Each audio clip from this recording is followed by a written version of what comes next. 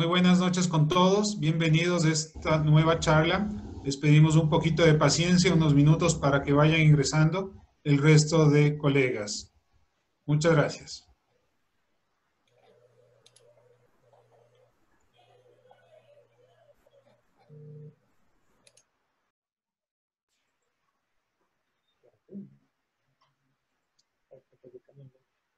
No, no importa. Si quieres que me lo quite,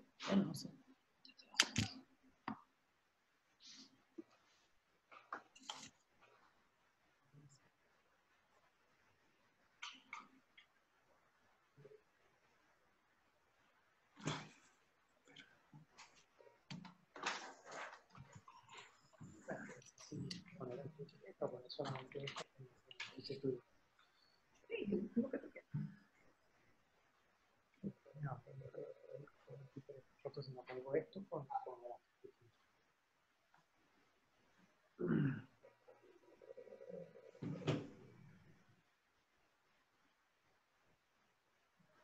la mando.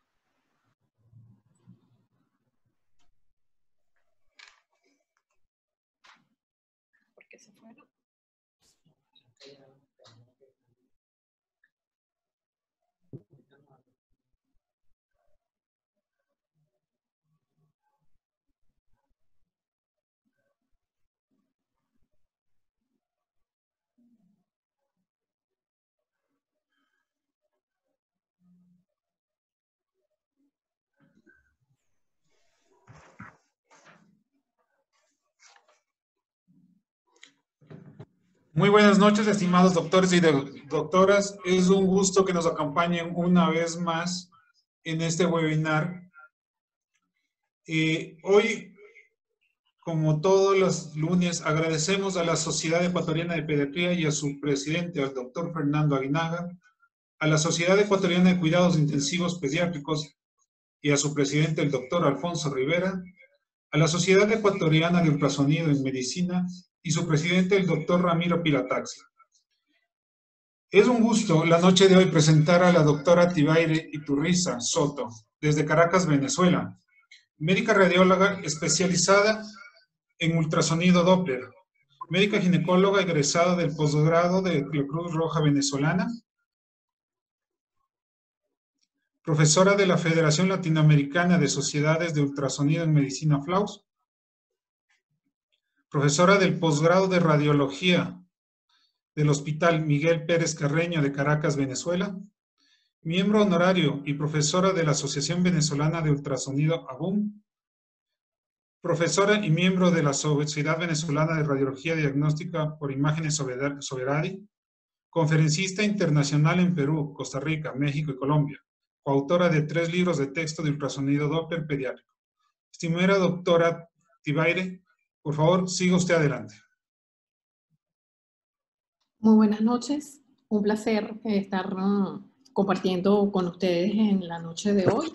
Eh, mi agradecimiento por la invitación a este seminario web a las sociedades ecuatorianas de pediatría, de, de ultrasonido y de medicina crítica en niños. Eh, bueno, sin, sin más, vamos a comenzar entonces a hablar del ultrasonido diagnóstico en ginecología infanto-juvenil.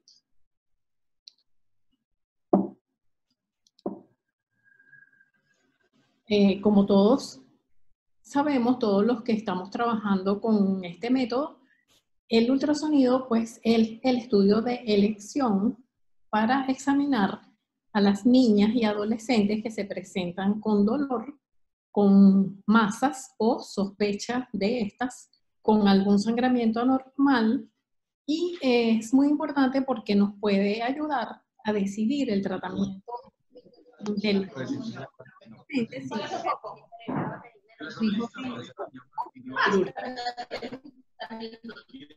para esto requerimos de un adecuado conocimiento de la embriología, de la anatomía y tenemos que estar muy pendientes de los cambios que se van a producir eh, con el desarrollo para poder reconocer las anormalidades. Eh, dentro de las bondades del ultrasonido que todos conocemos, pues por supuesto el hecho de que no se, es invasivo, no es ionizante, lo podemos mm, repetir, no necesita inmovilización ni sedación y tiene una muy buena visualización de las estructuras anatómicas. En el caso de que haya presencia de masas, pues mm, tenemos una información muy adecuada de su tamaño, de su forma, de la situación, de cuáles son sus características, cuál es su vascularidad. Y una cosa muy importante es que por lo general la paciente lo acepta eh, por el hecho de que no va a tener ninguna molestia y por lo general está disponible, tiene un bajo costo relativo y lo podemos repetir en cualquier momento. Ahora bien, eh, estar pendientes también de que es muy importante en el manejo de los niños eh, estar pendientes de la protección por el hecho de ser mucho más sensibles que los adultos, aproximadamente hasta 10 veces más sensibles a las radiaciones. Entonces,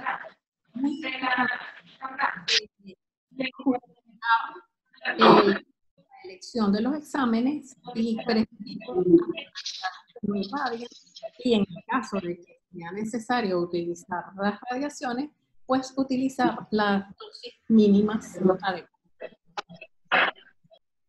Ahora bien, eh, las indicaciones del estudio por ultrasonido en niñas y adolescentes, tenemos el dolor y masa pelviana, los trastornos de la pubertad, ya sea que se presente mm, adelantada o precoz o retrasada, algún sangramiento anormal, cuando hay genitales ambiguos y en el caso de seguimiento a alguna terapia. En cuanto a los transductores, vamos a utilizar, por ejemplo, en las recién nacidas y en las niñas muy pequeñas, vamos a utilizar transductores lineales de 7.5 MHz. Ya en las niñas más mm, grandecitas podemos utilizar transductores de 5 MHz y en las mm, adolescentes transductores de 3.5 o 5 MHz. Eh, también vamos a utilizar los transductores eh, endocavitarios en las adolescentes que ya han comenzado ah, con sus relaciones mm, sexuales. Es importante tener un adecuado llenado vesical, que no quiere decir sobredistender, eh, porque a veces cuando la vejiga está sobredistendida, empiezan pues a perder sus relaciones normales los órganos. Eh, vamos a empezar con la recién nacida. En la recién nacida es importante tener presente que estas niñas van a tener una impregnación hormonal por las hormonas maternas. Entonces tenemos que el útero va a ser prominente, ¿verdad? Y vamos a encontrar que este va a ser grande, sobre todo el cuello, y el cuello va a ser prácticamente el doble del tamaño de del cuerpo. O sea, el cuello prácticamente el doble del cuerpo. Y vamos a poder ver la interfase endometrial. Entonces, eh, es, como vemos en este esquema, y muy importante eh, el tamaño del cuello sobre el del cuerpo. Eh, luego, cuando pasa esta impregnación hormonal y vamos a tener que en, en, la infancia temprana, ya entonces el útero es pequeño, no vemos interfase endometrial y la relación va a ser como casi uno a uno. Cuando empieza la niña ya a, a crecer y ya está prepuber, el útero nuevamente va a empezar a aumentar de tamaño. Podemos eh, empezar a identificar eh, la interfase endometrial y este, eh, ya empieza a, a, insinuarse la forma que va a ser la forma definitiva, que va a ser la forma piriforme, como ya en una niña de 13 años que puede estar ya puber o, muy cerca de su menarquia entonces vemos el, útero piriforme con presencia de interfaz endometrial y en el ovario ya es prácticamente como lo vamos a ver en la, mujer adulta, eh, aumenta el tamaño y podemos ver los folículos, sobre todo pues en la periferia, incluso a veces podemos ver un folículo dominante.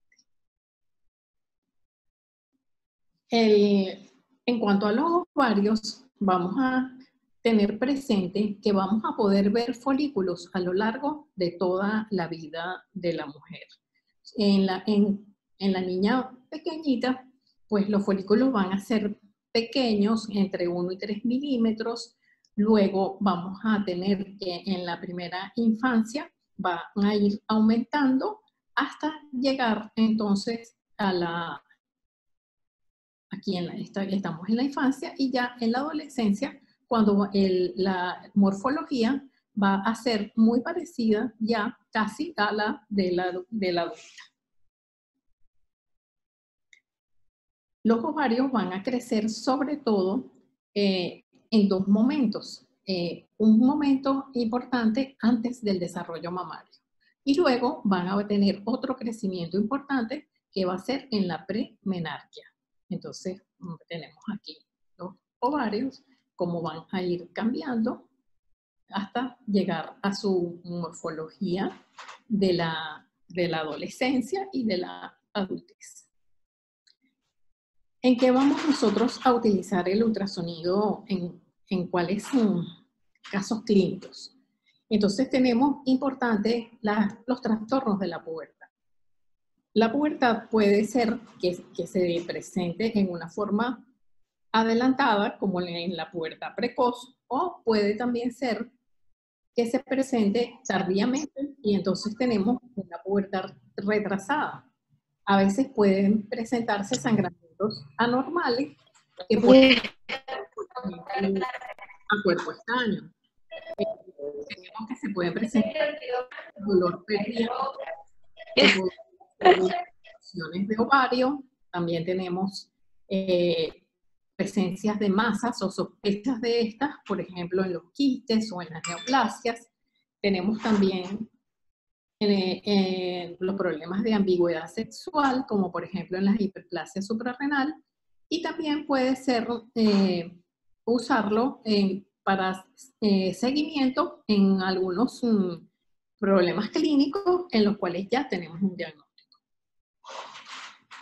Eh, también estar pendientes de que el ultrasonido no es el único método diagnóstico. Es excelente, nos ayuda muchísimo. Eh, se pueden a veces establecer diagnósticos con el uso solamente de ultrasonido, pero en general nosotros nos basamos tanto en la historia clínica, el examen físico, la radiología simple, los estudios hormonales, eh, y muchas veces es necesario la tomografía y la resonancia para poder llegar a un correcto diagnóstico. Eh, por ejemplo, cuando estamos hablando de los trastornos de la pubertad, tenemos que, puede ser que se presenten a veces sangramientos prepuberales, que no siempre van a ser una pubertad precoz, porque eh, se puede presentar un sangramiento, por ejemplo, por una presencia de cuerpo extraño. A veces las niñas, por curiosidad o jugando pueden introducirse algún cuerpo extraño que puede ser a veces una, un pequeño pedazo de, madera o, algún, juguete pequeño. entonces eso favorece el que se pueda producir una infección o que pueda haber un roce fuerte y eso puede producir un sangramiento. Otras veces pueden ser tumores que pueden ser benignos y malignos, como los rhabdomiosarcomas, pero también puede ser que ese sangramiento sea debido a una pubertad precoz. En cuanto a la pubertad precoz, decimos que se refiere a la aparición de caracteres sexuales secundarios en las niñas antes de los 8 años. Esta pubertad precoz puede ser central cuando es mm, debido a que se madura el eje hipotálamo-hipófisis, la mayoría de las veces en forma idiopática, pero también a veces puede ser periférica, eh, casi siempre secundaria a algún quiste de ovario. Eh, también es importante tener presente que la menarquia en la población latinoamericana se produce casi siempre en un promedio de 11.9 años, que es un poquito más mm, prematura que en otros grupos mm, este, étnicos. El protocolo para la pubertad precoz, perdón, para la investigación de la pubertad precoz o de la pubertad en general debe incluir la medida del útero, debe incluir el volumen ovárico, que por lo general se hace como el volumen de una elipse, y la presencia o no de línea endometrial. Este, es también importante eh, si hay presencia de folículos, aproximadamente su número y el tamaño de estos. Eh, por ejemplo, este grupo en Venezuela, en Mérida, que, que, se ha ocupado de mucho de seguir estos casos de pubertad precoz, ellos consideran que ya es diagnóstico de pubertad precoz tener en niñas menores de 8 años un útero mayor de 4 centímetros, ovarios con más de 1.5 cc y que haya una presencia de interfase endometrial. Eh, lo que estábamos hablando de la pubertad precoz periférica, como en este caso, por ejemplo, eh, que se presenta debido a la presencia de un quiste de ovario que entonces él se, en forma autónoma produce eh, hormonas. Esta pubertad puede presentarse aisladamente o también puede estar en el contexto de un síndrome de McCune-Albright que incluye displasia ósea fibrosa y manchas café con leche. Otro problema entonces de la pubertad, el, que sería el caso opuesto, es que se presente en forma de una pubertad retrasada. Eh, la paciente con, con su familia, la niña no ha tenido su menarquia. Hay casos que simple y llanamente eh, se trata de una pubertad retrasada y en estos casos el examen físico y el examen al ultrasonido nosotros vamos a encontrar todo normal, también el resto de los exámenes de laboratorio y todo. Y simple y llanamente la pubertad se va a presentar un poco después. Esto tiene muchas veces que ver con con que en la familia se produce la pubertad así un poco tardíamente. Pero también puede tratarse de casos, por ejemplo, de digenesias gonadales, puede también tratarse de alguna anomalía mulleriana, o sea, problemas del tracto genital, puede ser que sea debido a una insensibilidad a los andrógenos y también puede ser debida a alteraciones del eje hipotálamo-hipófisis.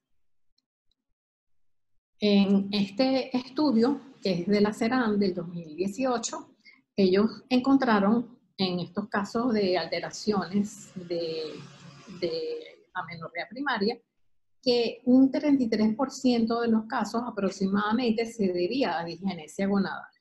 Luego tenían una, los casos de insensibilidad a los andrógenos, aproximadamente un 22%, las anomalías del tracto genital aproximadamente un 20%, anomalías del hipotálamo hipófisis un 15% y la menarquia retardada aproximadamente un 10%.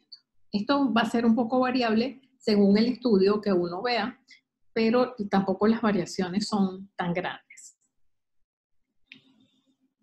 En los casos de amenorrea primaria debidas a digenesia gonadal, la más ah, frecuente y la más importante es el síndrome de Turner, que viene a ser la primera causa de amenorrea primaria.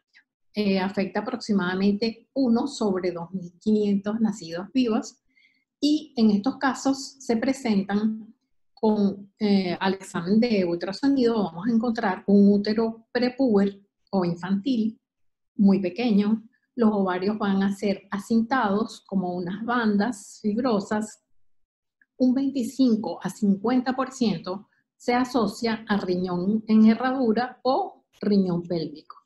También se acompaña de anomalías cardiovasculares y anomalías esqueléticas.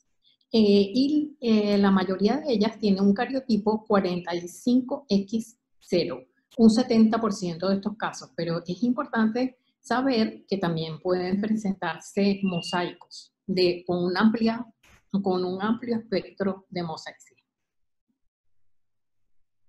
Aquí tenemos el examen ecográfico de una paciente con síndrome de, Turner.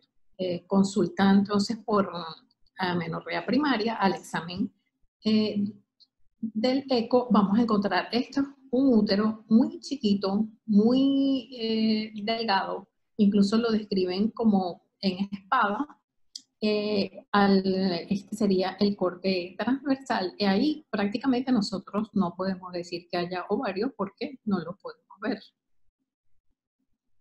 Aquí tenemos también otro caso, también de síndrome de Turner, donde vemos la misma morfología del útero pequeño, eh, delgado, eh, y se hace imposible visualizar ovarios. Esto no siempre es así porque eh, algunas veces, sobre todo en los mosaicos, hay niñas que se presentan donde sí se puede ver ovarios, aunque sea pequeño, e incluso a veces se produce la menarquia espontáneamente. Eh, siempre examinar a la paciente y estar pendiente de su asociación con problemas renales, tales como aquí que vemos riñón en herradura. Entonces, mm, examinar, eh, ver abdomen, ¿Para qué? Para ver si está acompañado de alguna otra alteración. Aquí tenemos otro caso donde también se acompaña de riñón en herradura y también tenemos la, la misma formación que habíamos descrito de un útero muy pequeño, ¿verdad? Y no encontramos los ovarios. Es posible que sean unas bandas, pero no las estamos viendo. Ahora vamos entonces a hablar otras causas que se pueden presentar de amenorrea primaria. Entonces son las anomalías estructurales del tracto genital. Esto corresponde a aproximadamente un 20% de los casos de amenorrea primaria.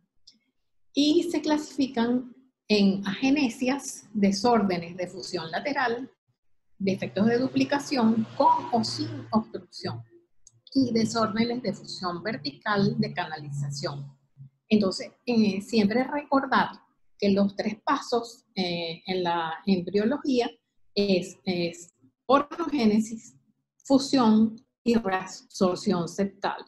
Eh, puede haber una noxa que se produzca en cualquiera de estos tres pasos y dependiendo de a qué nivel y en qué momento se produzca esa noxa, entonces vamos a encontrar la alteración.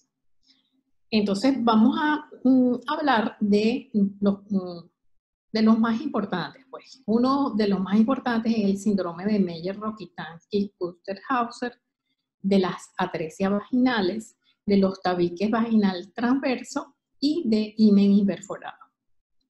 Hay otras anomalías que no son obstructivas y que no, no producen entonces mm, amenorreas primarias. Este síndrome de Meyer-Rokitansky-Kuster-Hauser viene a constituirse como la segunda causa de amenorrea primaria, en cuyo caso la mayoría de estas pacientes pues se presentan eh, con su fenotipo femenino, sus caracteres sexuales secundarios presentes, eh, pero no, no han presentado su menarquia.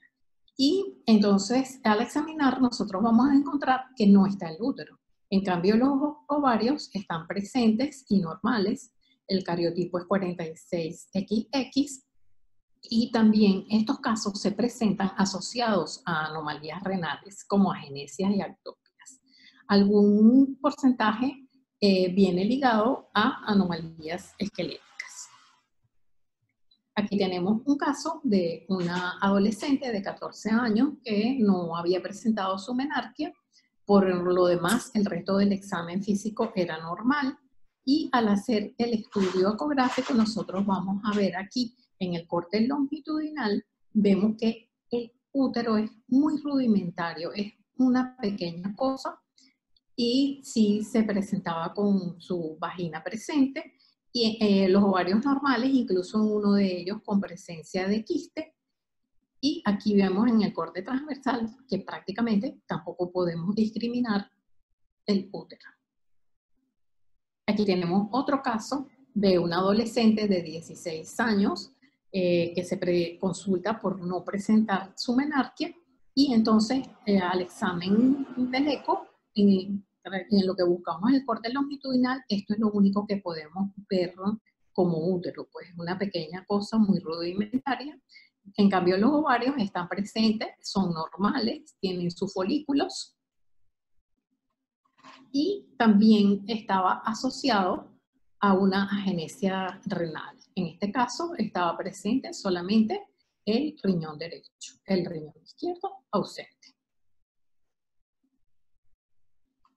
Otras anomalías mullerianas obstructivas son, por ejemplo, la atresia vaginal, los tabiques vaginales transversos y el himen imperforado. Aquí tenemos un caso de, de amenorrea y entonces al examen nosotros vemos que el útero está presente, la vagina está solamente el tercio superior y llega hasta aquí, ya después no hay más vagina. Entonces, eh, muchas veces las atresias vaginales se pueden acompañar de ovarios ectópicos, como en este caso, donde eh, los ovarios se encontraban en el conducto inguinal derecho.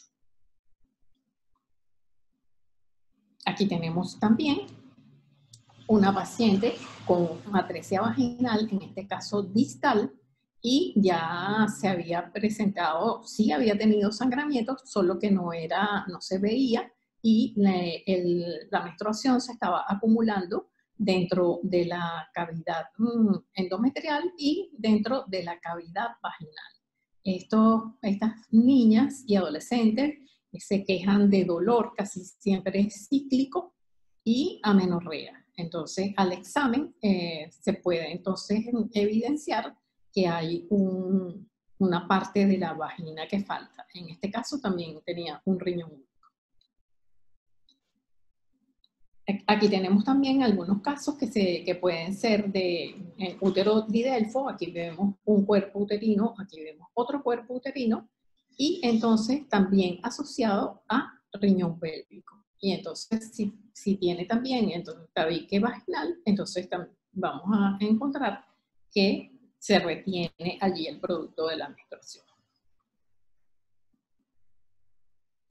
El himen imperforado es la anomalía obstructiva más común y no suele asociarse a otra anomalía. Por lo general se presenta sola.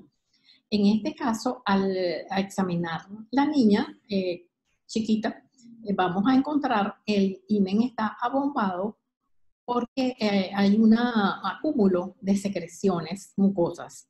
Y al examen entonces que hacemos del eco, vamos a encontrar que el útero, lo que habíamos hablado, un útero con impregnación estrogénica, con presencia de, de interfaz endometrial, y entonces vemos en la cavidad vaginal hay un acúmulo de líquido, que son las secreciones estas mucosas, y al corte transversal vemos entonces este acúmulo aquí de secreciones, y eh, debido a esto, a un himen imperforado, eh, y se produce entonces esa masa que corresponde a un mucopolvo, una masa anecoica alargada y retrovesical.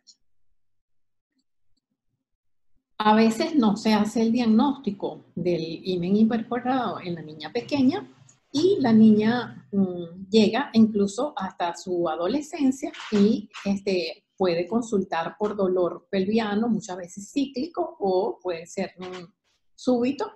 Y entonces al examen vamos a encontrar que su útero es como de una niña ya un puber eh, con su interfaz endometrial y entonces vemos aquí una colección eh, se encuentra en la vagina y es porque ya se ha producido pues su, su o ha tenido uno o más ciclos y entonces vamos a ver el imen se encuentra abombado por una colección hemática en la vagina. Este es otro caso cedido gentilmente por la doctora Eda Chávez, eh, una paciente también con amenorrea y hematometrocolpos, en donde vemos también que se colecta entonces eh, la, sangre tanto en el útero como en la vagina, que se encuentra muy, muy abombada, con una gran colección, y era también debido a un himen imperforado. Estas pacientes de himen imperforado no tenían ninguna otra alteración. Ahorita vamos a, hablar de otros casos de amenorrea primaria, que para muchos es la tercera causa, hay unos que la colocan en de cuarto, y en estos casos, eh, básicamente eh, es por una insensibilidad que hay al, a los andrógenos. Y uno de los escritores fue eh, Morris, y entonces por eso mm, se ha llamado síndrome de Morris. Y estas son pacientes que se mm, vienen a consulta porque no han tenido su menarquia, por lo general tienen caracteres sexuales secundarios presentes y normales, y se acompaña muchas veces de hernias. Y en esas hernias se pueden conseguir eh, las, las gónadas, que en, este, que en este caso van a ser testículos. Y aunque el fenotipo es femenino, el cariotipo es 46XI. Hasta un 50% de estas pacientes se presentan con hernias y es una herencia recesiva ligada al cromosoma X. Entonces, en estas niñas o adolescentes, nosotros mm, al examen eh, del eco vamos a encontrar que no hay útero y entonces vamos a encontrar que la gónada que se encuentra no es un ovario, sino un testículo. Eh, aquí vemos el testículo, incluso le, vemos muy, muy claro el mediastinum testis. Eh, entonces, estas, estas gonadas pueden estar en pelvis, pueden estar en abdomen o pueden estar en, los, en las hernias, en los conductos inguinales. Eh, tienen, según algunos autores, cierta tendencia a la malignización, por lo que la mayor parte de las veces, pues, eh, cuando se hace el diagnóstico, pues se las extraen. Aquí también tenemos otra adolescente con amenorrea primaria, fenotipo femenino, cariotipo 46XY, al examen no tiene útero. En uno de los conductos inguinales, pues está la gónada, que también correspondía a un testículo.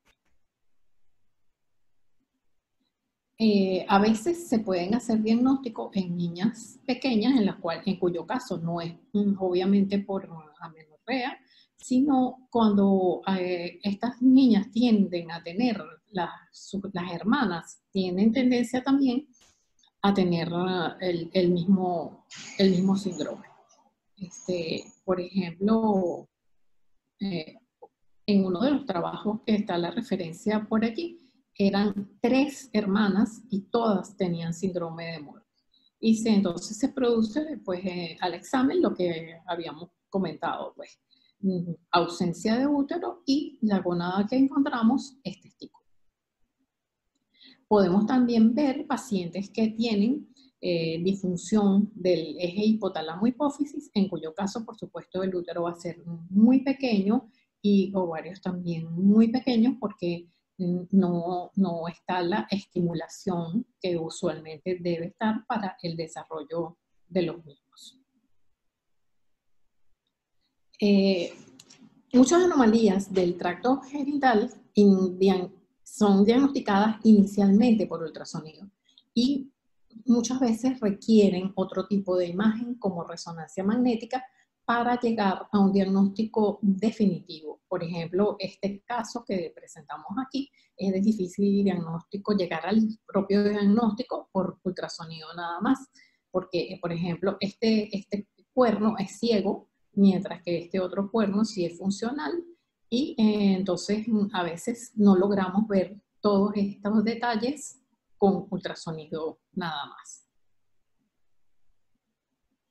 Eh, en cuanto a la menorrea secundaria, eh, lamentablemente en nuestros países latinoamericanos, la causa primera de amenorrea secundaria en niñas mayores de 9 años es el embarazo. Venezuela, por ejemplo, es el segundo país de Latinoamérica con mayor porcentaje de embarazo adolescente, 22% después de Haití. Eso según algunos trabajos, pero por ejemplo, el informe de Amnistía Internacional de este año, del 2020, dice que el embarazo adolescente en Venezuela aumentó aproximadamente un 65%.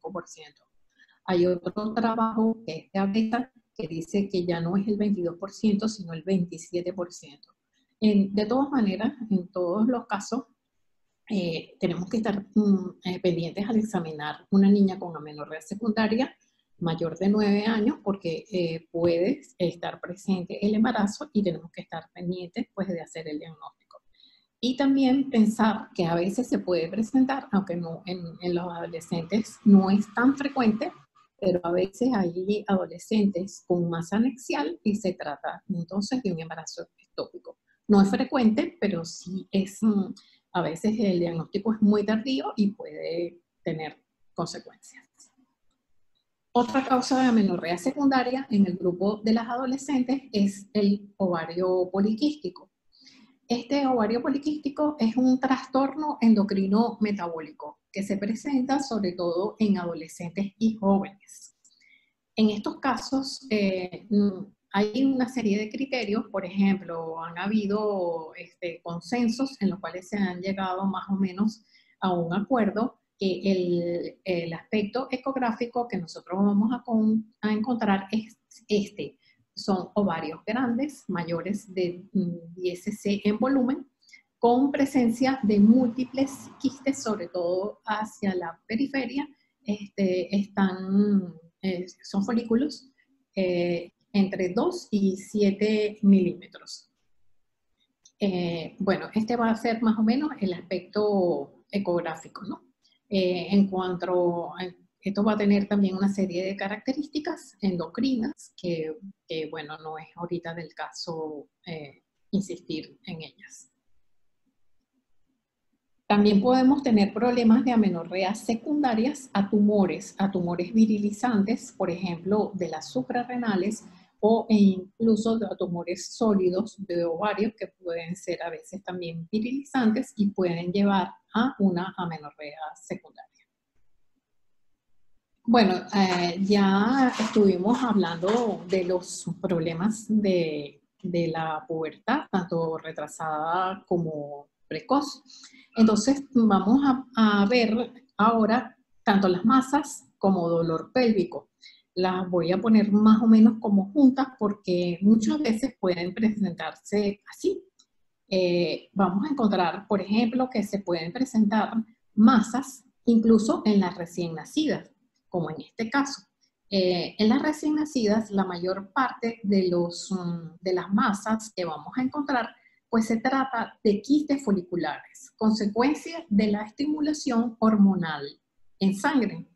Eh, la mayor parte de ellas eh, se va a, ellos van a involucionar por lo general espontáneamente. El tamaño es variable porque pueden encontrarse algunos de más de 5 centímetros eh, y pueden encontrarse también en localizaciones variables porque pueden tener pedículos largos y se pueden encontrar, por ejemplo, como en este caso que vamos, este era un quiste de ovario eh, y fíjense que alcanza a la vesícula de la recién nacida. Eh, llega a este espacio subhepático.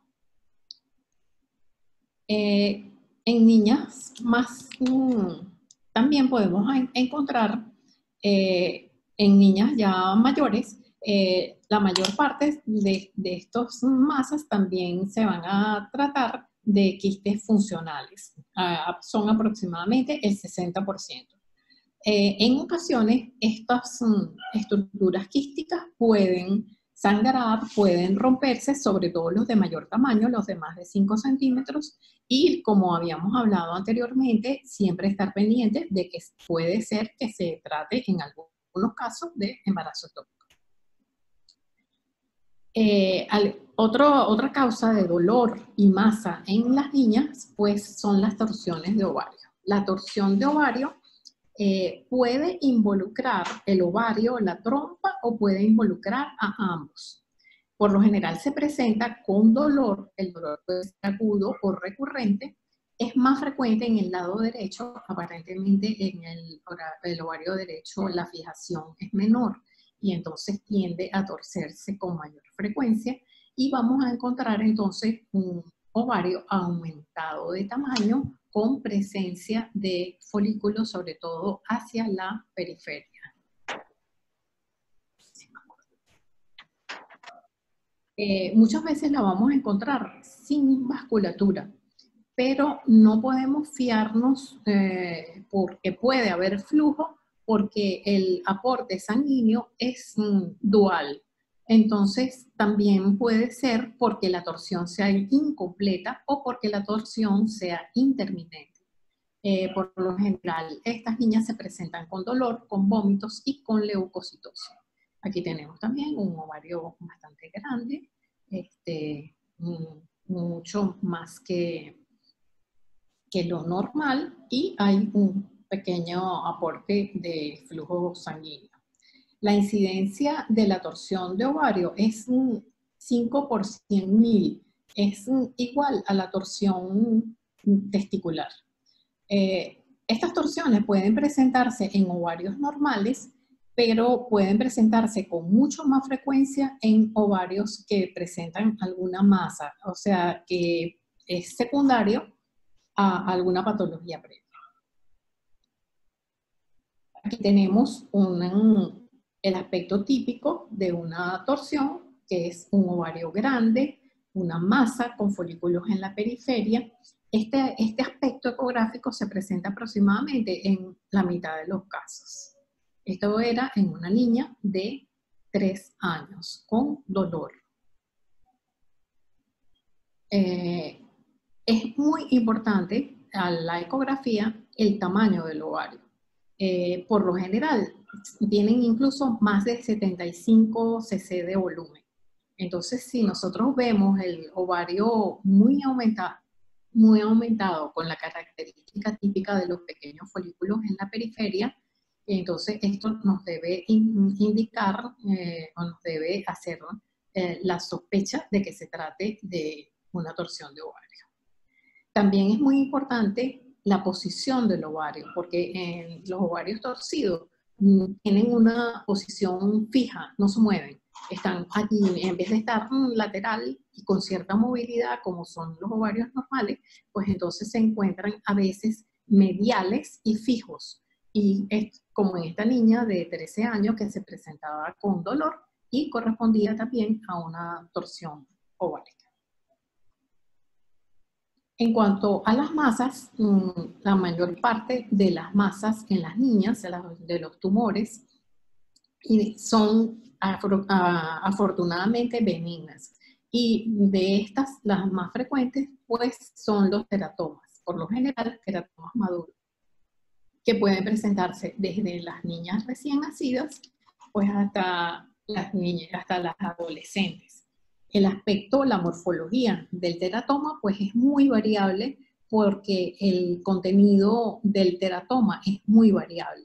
Entonces, nosotros vamos a ver ese aspecto eh, que depende de la cantidad de grasa, de la cantidad de material sólido que tenga. Entonces, el aspecto pues va a ser completamente mm, diferente. La mayoría de ellos es a predominio quístico, tenemos otro donde tienen también eh, con, muchos ecos suspendidos y algunas partes sólidas. Esto en una niña de 8 días. A veces las masas también las vamos a encontrar en, en los conductos inguinales. Por ejemplo, en esta, en esta niña recién nacida que se presentaba con masas palpables en conductos inguinales y correspondía, estaba dentro de la, de la hernia, dentro del saco herniario, estaba el ovario. Esto se debe a que mm, el proceso vaginal eh, está persistente. En la niña se denomina conducto de Nu. Este proceso se forma en el sexto mes de gestación y cierra durante el primer año de la vida. Puede ser también que sea bilateral, como en este caso, estaba en ambos conductos inguinales con presencia de masas y en ambos estaba los ovarios. Eh, se encuentran los anexos hasta en un 30% de los sacos herniarios pueden estar presentes el ovario. Aquí tenemos otro caso este, y este es el, la, la parte quirúrgica. En cuanto a los genitales ambiguos, eh, si bien muchas veces el ultrasonido no va a llegar al, exactamente a, cuál tipo de ambigüedad se trata, es de mucha ayuda, ya que como, como el útero es prominente en, en, la recién nacida, entonces vamos a verlo con cierta facilidad. Y una vez que vemos que hay presencia de útero eh, y ovarios, entonces se va a tratar en gran parte de los casos de una hiperplasia suprarrenal porque eh, por estadística es la causa más frecuente.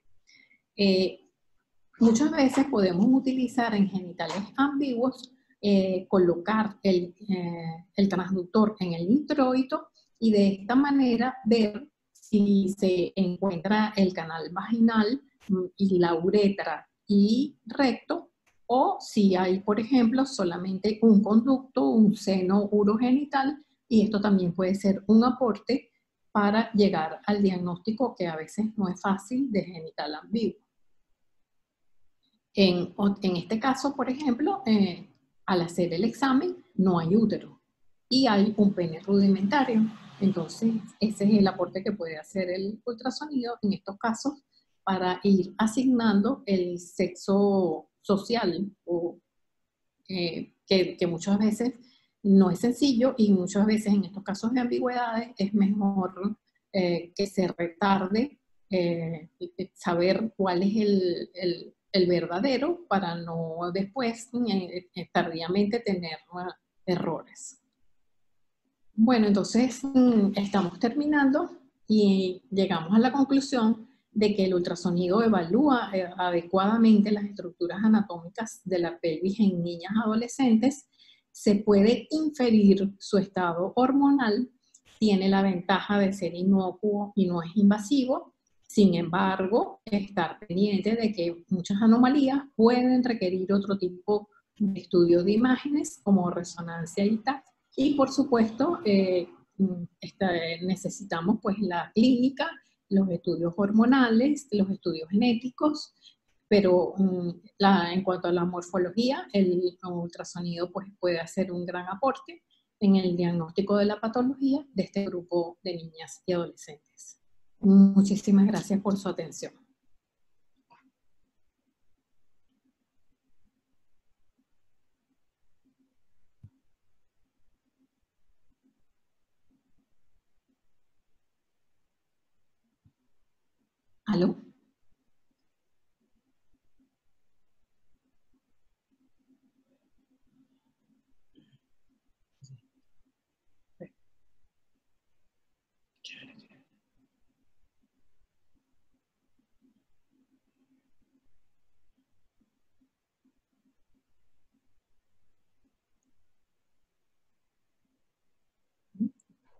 Muchísimas gracias, doctora. Eh, Santiago va a dar unas palabras.